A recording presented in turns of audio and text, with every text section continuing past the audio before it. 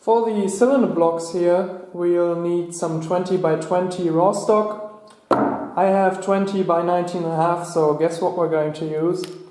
Um, this is a rather hard to grab part once you're finished, so uh, order of operations is really important here. The last two parallel surfaces on the thing will be these here, so we'll clamp it upside like this first machine the radius and the chamfer. Then we'll turn it around like this, machine both sides, freehand on the shaper.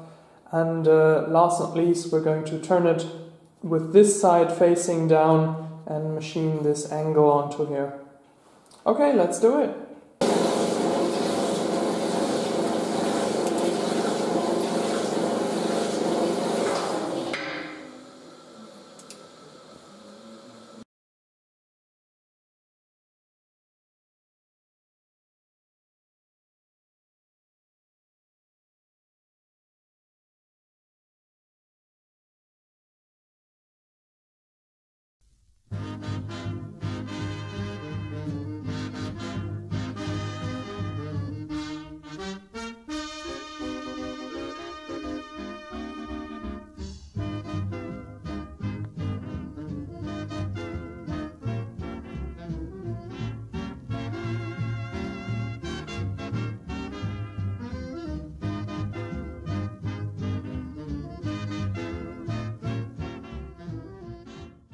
Alright, so here are the parts. Um, freehand working on the shaper takes a bit getting used to. It's similar to working on the lathe, only one hand wheel is constantly moving back and forth, and that really is uh, can be a struggle at times. But I think I got these shapes blended in nicely.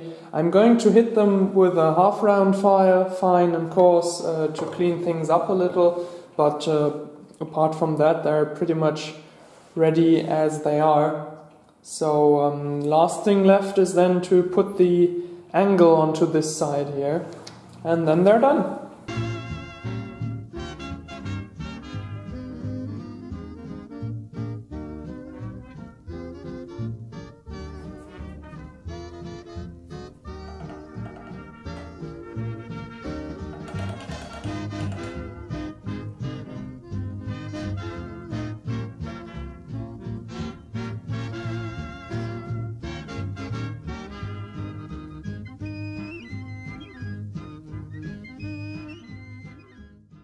Okay, here are the blocks mounted in position. Um, you can see I've screwed up these first holes here. I don't know why, but I thought I had to uh, mount them flush with the front side. Uh, they're actually not, there has to be a gap here. So these holes, yeah. Luckily, they don't play any particular role. The positioning on these holes relative to the block itself wouldn't be that critical as well, uh, as they're just spacers. You see the piston, or the cylinder rather, is mounted on top here, and uh, its position is important, but uh, this thing will just move with the uh, cylinder then. Uh, you can see the sides here line up nicely. That's mostly what I was paying attention to.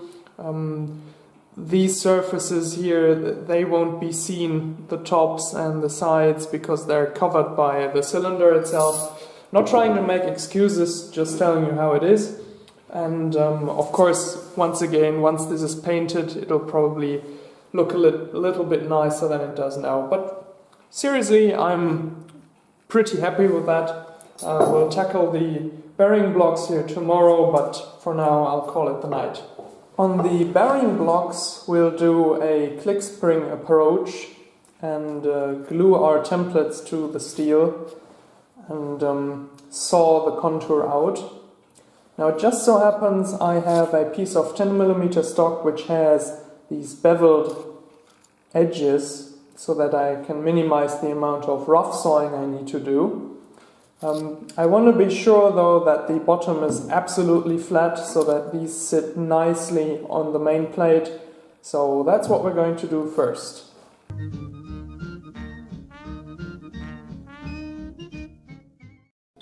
Well, I didn't have that on video, but what never happened to me before is one of these pins that keep your saw blade in just sheared off. midway. Um, and you can see this one is pretty close to it as well, so guess these also have their service life.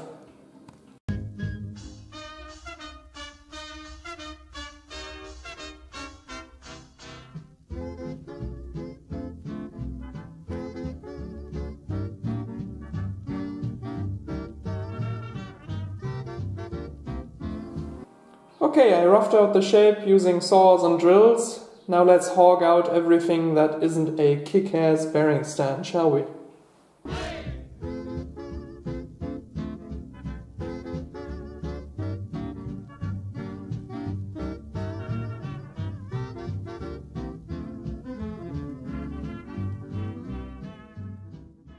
Wow, this thing is a metal eater. It's incredible, like a file only 100 times faster.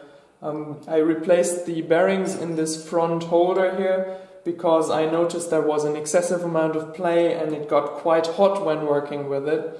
And now it's just transformed.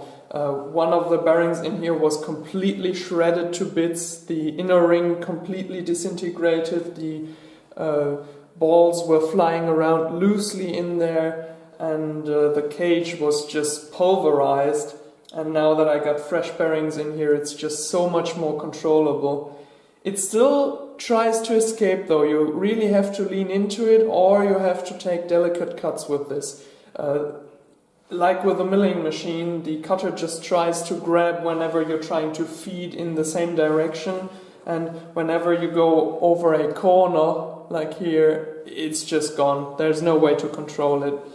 But uh, seriously, especially for these inner radii, it's it's just perfect. I mean, how long would it take to hog this out with a half round or a full round file? It's just such a labor saver. The only downside is the um, chips that this thing makes. You know, when on a lathe or on a milling machine, there's that occasional tiny chip which is just really sharp like a dart and it just wants to get into your hand.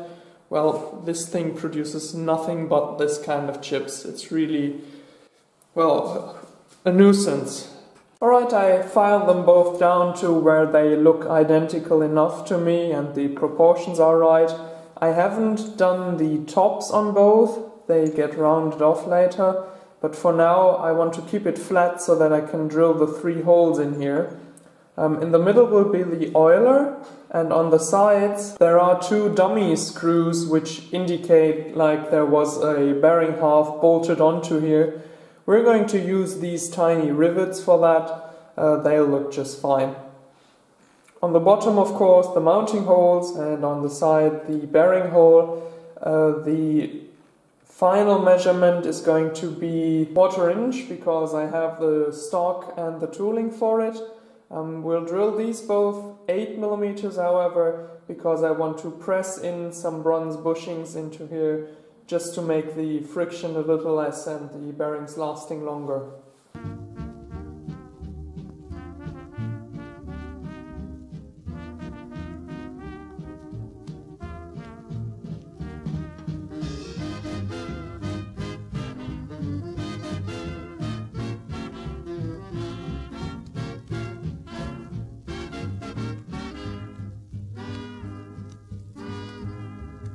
Alright, long story short, I spent a lot of time draw filing, you know, sideways like this to get all the filing marks out of here.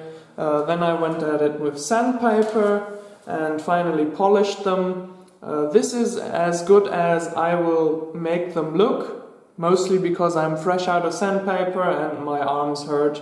You know, it's been a long day when the vise is covered in file shavings.